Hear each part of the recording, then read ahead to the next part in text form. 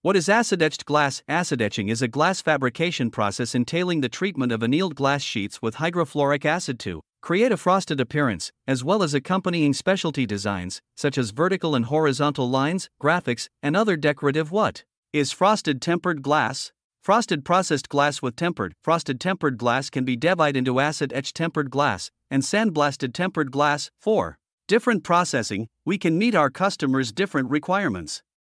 Production step, manuscript, screen, printing, glass etching, ink, rinsing. Finished products. With good light transmission, visual, thermal insulation, sound insulation, environmental protection, and other characteristics, widely used in companies, hotels, and other large entertainment venues.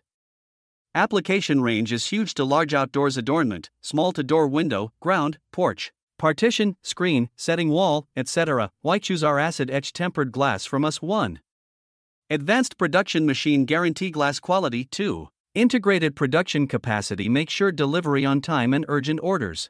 3. Any other interests, we suggest you can reach end of our homepage for more details. Please click our reports by TUV specification of satin. Etched glass available thickness 5 mm, 6 mm, 8 mm, 10 mm, 12 mm characteristic, up to 5 times stronger than annealed glass of the same thickness, making it an ideal safety or security glass, comma conforms to the requirements of BS 6206 1981 Class A as well as European Standard BSEN 12150.